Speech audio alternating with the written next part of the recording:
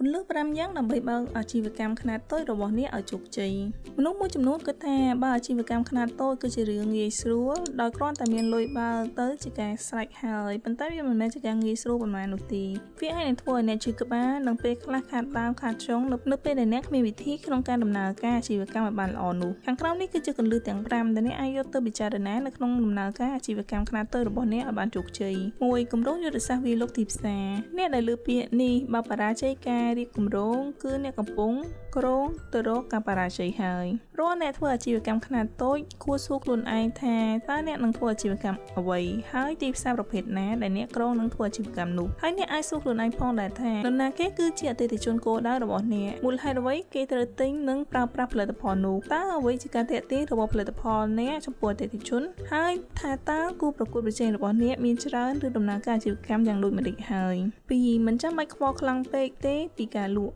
អ្នកចាប់ផ្ដើមមើលអាជីវកម្មខ្នាតតូចភាគច្រើនគឺគិតតែផ្លូវមួយប៉ុណ្ណោះគឺចំណេញនិងខាត ឬលក់ដាច់និងមិនដាច់អាជីវករភាគច្រើនគិតអំពីចំនួននៃការលក់តិចឬច្រើនបើលក់ដាច់ថាចំណេញបើលក់មិនដាច់ថាខាតតែបើខាតច្រើនគឺជប់ធ្វើអាជីវកម្មការពិតអ្នកជោគជ័យនៅលើអាជីវកម្មមិនមែនគិតតែលើចំណេះដឹងនិងលុយតែក៏ពឹងទៅលើជំនាញពិតនិងការអត់ធ្មត់ដែរដូច្នោះអ្នកធ្វើអាជីវកម្មមិនគួរគិតតែលើការលក់តែត្រូវគិតអំពីដំណើរការអាជីវកម្មទាំងមូលដូចជាសេចក្តីពេញចិត្តរបស់អតិថិជន ការផ្ដល់មតិរិះគន់និងព័ត៌មានត្រឡប់និងធ្វើជារបាយការណ៍អតិថិជនជាដើម3វិនិយោគទៅលើប្រព័ន្ធបច្ចេកវិទ្យាអ្នកបើកអាជីវកម្មខ្នាតតូចទាំងអស់ត្រូវតែគិតដល់ការប្រើប្រាស់ប្រព័ន្ធបច្ចេកវិទ្យាជំរុញដំណើរការអាជីវកម្មដែលអ្នកអាចធ្វើការប្រស្រ័យទាក់ទងនឹងអតិថិជនរបស់អ្នកទទួលបានព័ត៌មានពីចំណងចិត្តរបស់ពួកគេ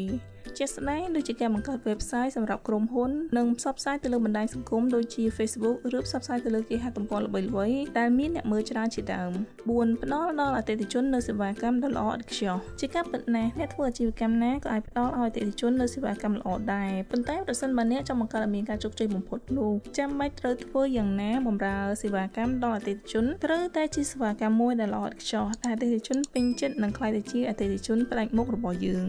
5កុំប្រើប្រាស់អារម្មណ៍មកដំណើរការអាជីវកម្មអ្នកធ្វើអាជីវកម្មមួយចំនួនប្រើប្រាស់អារម្មណ៍ហើយជារឿយៗធ្វើការសម្រេចចិត្តទៅលើអាជីវកម្មដោយហេតុផលមិនសមស្របឧទាហរណ៍ដូចជាការចំណាយលុយទៅលើការផ្សព្វផ្សាយពាណិជ្ជកម្មដ៏ថ្លៃតាមតែចិត្តដឹកឃើញដោយមិនគូពីគោលដៅច្បាស់លាស់ឬប្រើប្រាស់លុយទិញសម្ភារៈដែលឥតប្រយោជន៍ច្រើននៅក្នុងអាជីវកម្មជាដើមនេះអស់ហើយតើតងជាមួយនឹងអត្ថបទនេះដែលនិយាយអំពីគន្លឹះខ្លះៗសម្រាប់អ្នកដែលចង់បង្កើតអាជីវកម្មខ្នាតតូចដោយខ្លួនឯងអរគុណសម្រាប់ការទស្សនាជួបគ្នានៅវីដេអូបន្ទាប់